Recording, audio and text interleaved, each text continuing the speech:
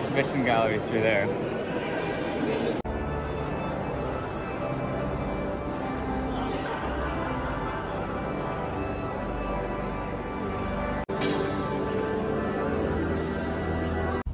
hummus, cauliflower, pickled red onion, lamb's lettuce, spicy chilies, green sauce. Is it good? Mm-hmm. Every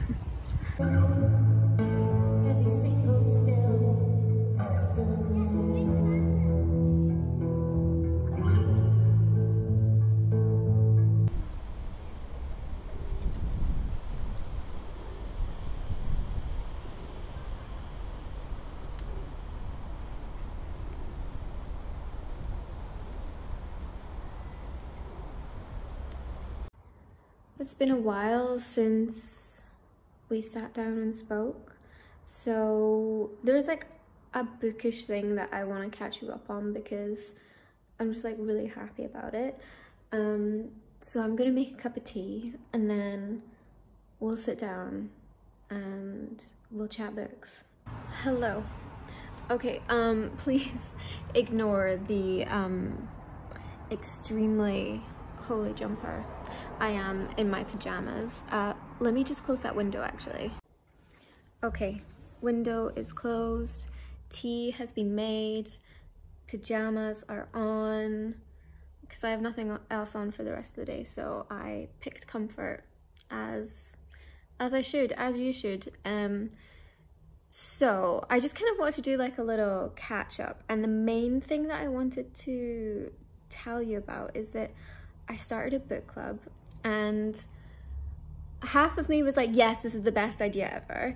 And the other half of me is like, why would you do that? You have horrendous anxiety. Why would you decide to do something like that, which would mean you have to speak to people that you don't really know and organize things and yeah, so I do have to say that part of doing it was like a challenge for myself um to go outside my comfort zone and you know to put myself out there and i think it's easy to fool people that you can that you are a confident person especially when you're like a trained performer like i am um it can be quite easy to come across as confident and like especially as a teacher as well like people just expect you to be a confident person but uh, I'm really, really not. Hello.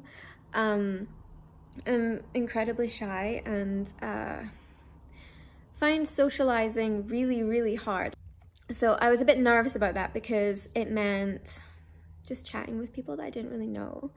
Uh, but it turns out that they are the nicest people and I want to chat to them so much.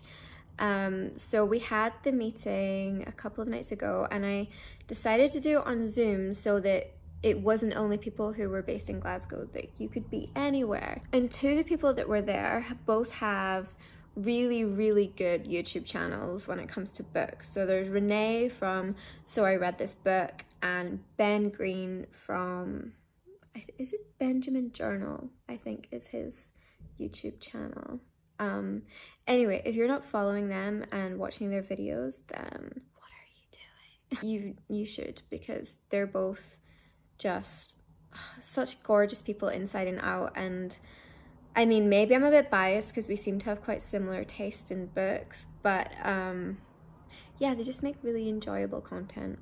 I could listen to Renee just chatting all day and Ben's content is just stunning every single time. So that's a treat if you don't already follow them. Like you're welcome. We had the first meeting and then there was Lydia who was there as well who she doesn't have a YouTube uh, channel, but she is on Instagram and it is just so considered and thoughtfully curated and just really beautiful. Yeah. So the book, the first book for um, this book club uh, was Higher Ground by Anke Stelling and let me tell you that is not an enjoyable book and I kind of knew going into it that it wasn't going to be like a light easy read um but my god it was relentless. It was exhausting but it was so clever. I loved it so much. Um so we have our protagonist Resi and she's living in Berlin mother of four an artist a writer and she has her husband there as well, Sven, and he's a painter. And the start of this book is like the aftermath of a publication of her, a piece of her writing. And in it, she kind of dares to tell the truth about her middle class friends and their life.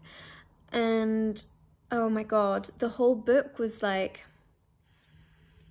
just I don't I can't even put it into words. It was just heavy. And then it was even heavier when you realize like the majority of the book she's writing to her 14-year-old daughter. It's just like a lot. Like you already have so many issues when you're that age as a teenager, my god. But trying to deal with like your mother's justification for what she's done and how she's gone about her life and everything is just a lot. But I would recommend it because I think it's just a really, really clever and bold book.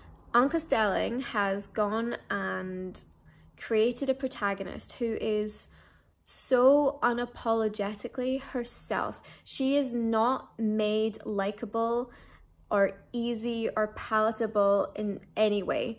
She is using her words and they are so sharp. It is, she is out for blood with her words in this book and she is just kind of revealing the hypocrisies um, that we all know to exist uh, when it comes to classism and privilege and yeah be prepared to feel exhausted and also maybe like a little bit uncomfortable when you're reading it because you do have to kind of face a lot of hard truths. I think the consensus was within the book club that um not enjoyable but very well done. I'm kind of glad that it wasn't just an easy read that I picked for like our first meeting. This month's theme is going to be uh, Women in Translation. Although Higher Ground is also translated from the German by... I can't remember her name right now. That's so bad. Is it Lucy? We still need to do translated work for Women in Translation Month. You can't not. So, um, I picked a couple of titles and then people voted and we're going to be reading Hurricane Season. Yeah, I think again, not an enjoyable read so much, but like a good read. Um, I've heard that it's basically just like a wall of text that you're thrown at. So that's going to be interesting. And I'm honestly just like loving having this little community of people who we have like a little WhatsApp group and our Zoom call and it's just so nice to make connections. And like I said before, like I really don't find that easy. I'm terrified of people. So it's really nice to be making connections with people who have similar interests and are just genuinely very lovely, warm souls. Um, I've read a few things recently that I really loved. So Higher Ground was, even though it wasn't like a light, easy, enjoyable read, like I really loved it. It was so clever and well done. And like, she like fucking committed to the tone. She committed to the message. She committed to that protagonist. And I, I bow down to that. That was a bold move. Um, and then I read Bluets by Maggie Nelson and everybody who told me I was going to love that book, you were absolutely right. Um, I think that Maggie Nelson's one of those authors that I put off reading because I know I'm going to love her work so much and it's almost like Ben and I were actually saying this is like we can't handle um just the emotional response we might have to the work like it's like you're not prepared for how much you're going to love it if you know what I mean so Maggie Nelson's definitely one of those writers for me, but I read Bluets and it was so stunning and so comforting and so thoughtful. Ugh, my fingers like really shaking. Can you see that? Oh my god, it's like twitching. Uh, I'm gonna I'm gonna switch hands because that's not good. yeah, I really love Bluets because it was like really fragmented. Every kind of it was like there was a thought and it was numbered and then it would go to the next one and the next one and the next one. There's just loads of these thoughts, almost like a journal entry on the color blue, but it was quite tangential and went off to places that led to others, but everything was connected and it had this really like personal vein running through it and I really, really, really liked it. It's kind of one of those like unclassifiable texts. Like, is it poetry? Is it memoir? Is it nonfiction? And I feel like Maggie Nelson does that, you know, um, thoughtful, personal writing really, re like better than anyone else that I've read. Um, I just, I love her so much. Last week, Jessica Andrews' new book came out. It's her second book and um, I devoured that in like one day. I just sat and read it all in one go. It was very um, heavy on the imagery and it took you from London to Barcelona to Paris and it was really kind of like tumultuous and it was like dripping a bit heavy in imagery in some places like I felt like it was maybe slightly overdone but then at the same time like now knowing the protagonist and getting to feel like how emotionally like uh, led she is and how everything feels like the end of the world or the best thing ever and just how in her head she is like i feel like the overuse of imagery like almost makes sense to be honest. I didn't even say the title of that book. It's called milk teeth and it has a gorgeous cover that I absolutely love. I did buy the hardback, which I don't usually do, but the reason I did is because Jessica Andrews' debut, um, Salt Water, which I actually have, I'm going to show you because it's so beautiful. Um, bear with me. Got it here on one of my shelves. Just quickly show you. So I actually have a lot of books. I need to go through a lot of these and get rid of some, but uh, salt water is right here. And yeah look how gorgeous that book is. Um so this one i would say is definitely one of your thinky women trying to figure out who she is and why she is and where she wants to be. Like is definitely one of those narratives. Um i read this i want to say i read it at the start of 2020 and yeah I would recommend this if you, you know, if you like the thinky woman kind of narrative, this might be for you. Jessica Andrews' writing is definitely very lyrical, heavy on the imagery. It is shimmering and scintillating and it definitely evokes a sense of place so easily and so well. So we have two storylines going on and one is like her childhood leading up to the present moment and the other one is like the present moment that she's living in.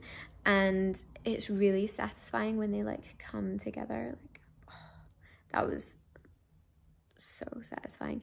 Um but you learn about her upbringing her family life and you really kind of find out why she is the way she is and why she thinks about herself and relationships the way that she does and um, you follow her throughout her move to London and her brief stint working in Paris as a nanny and she meets a guy in London and they fall in love and he moves to Barcelona and they try and make it work. Um, but within that, there's just so much emotion. There's so many, it's just really scenic. And I don't mean that as in like just like landscapes, but just like she drops you in a scene so well. Like you can smell and taste and hear and feel everything that is going on in a scene when she's writing. And the only thing that bugged me like a little bit was the protagonist. I started to get like really irritated with her because it was almost like she was getting in her own way so much and I started to not feel sorry for her or I felt less sympathetic towards her because I was just like, go to therapy, like get some help. Like you're obviously not doing it in your head by yourself. Like you need somebody else to help you, probably a licensed professional just to like help you get through those thoughts and that's not a bad thing. We'd recommend if you just want like a book that you can devour in one go. It was definitely that kind of book and Salt Water is really, really great. I would highly recommend that. Um, she still feels like an outsider among her fellow students. When things come to a head, Lucy takes off for Ireland, piecing together family stories and trying to gain a sense of who she really is. And that really is what this book is. It's like piecing things together. And I would say get salt water over milk teeth. A little content warning for milk teeth um, that I kind of wish I knew before I started, but once I got stuck in, I was like finishing the book. Um, I would just say be sensitive to that if you like struggle with um, disordered eating because there's a lot to do with that in it. And yeah like really not doing a good job of holding this camera. It's just my phone so it's not even a good camera. Mm. so the book i'm reading just now shock horror was written by a man.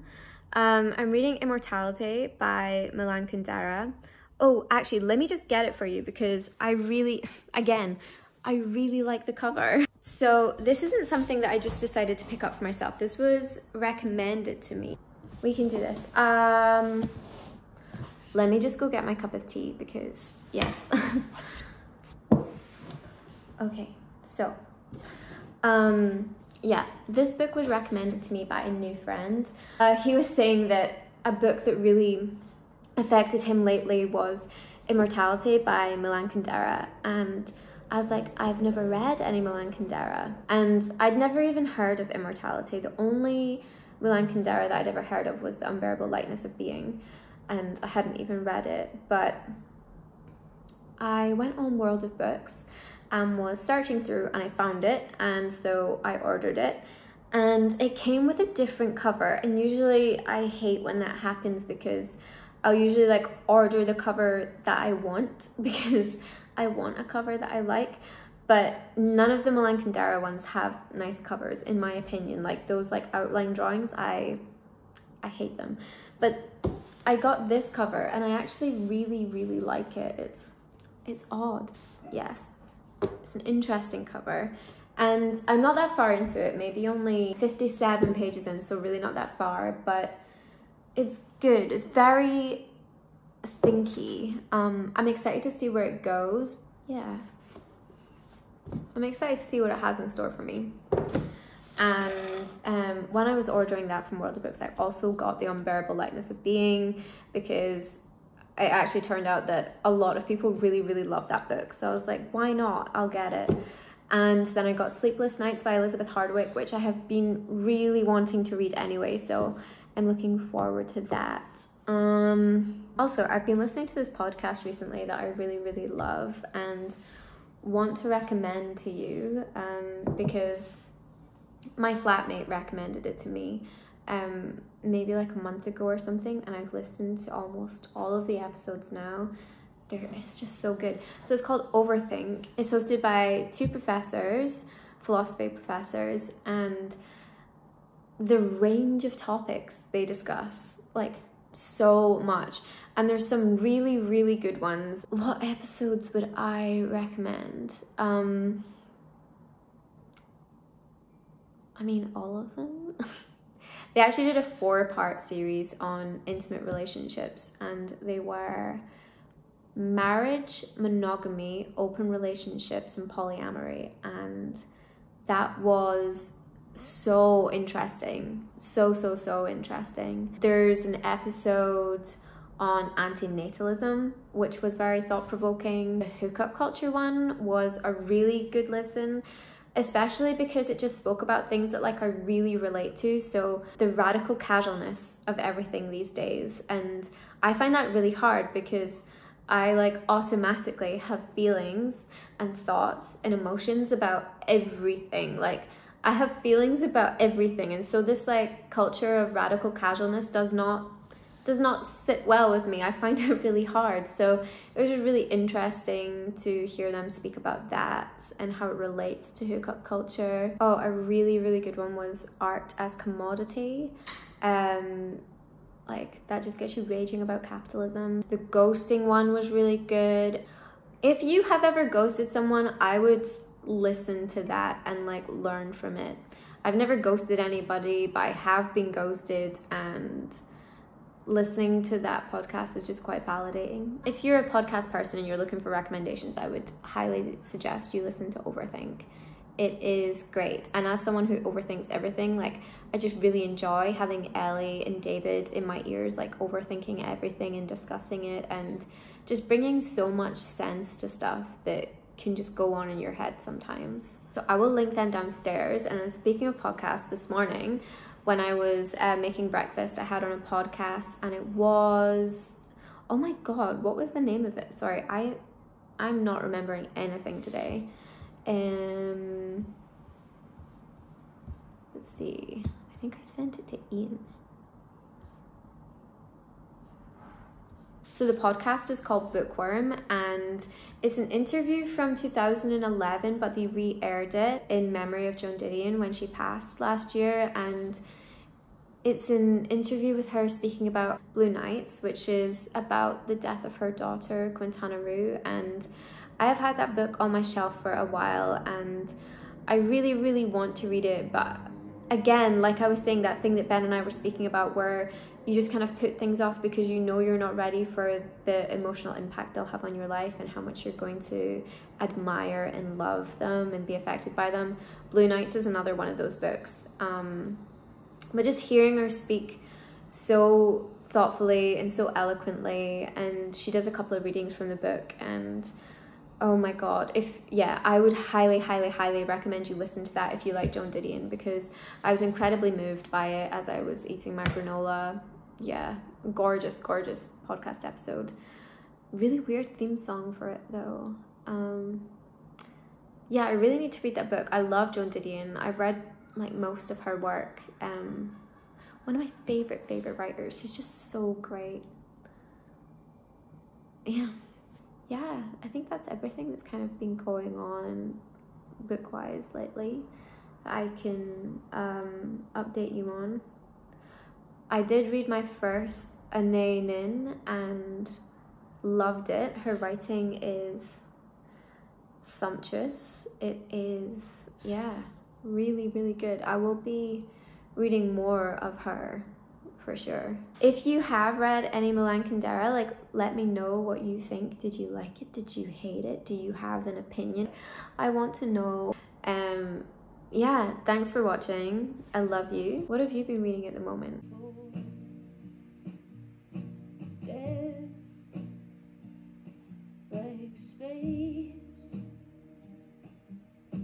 Deep sea.